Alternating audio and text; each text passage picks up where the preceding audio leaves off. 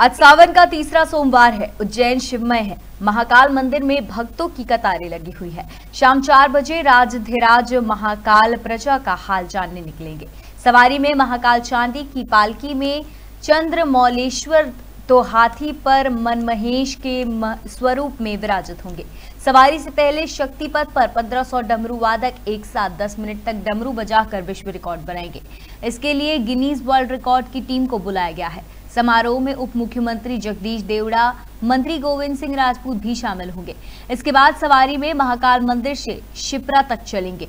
पालकी पूजन भी करेंगे। बता दें कि महाकाल की भस्म आरती के लिए रविवार से सोमवार की दरमियानी रात मंदिर के पट खोले गए। भस्म आरती के दौरान भाँग, चंदन, सूखे मेवों और आभूषणों से बाबा महाकाल का राजस्वरूप दिव्य श्रृंगार किया गया।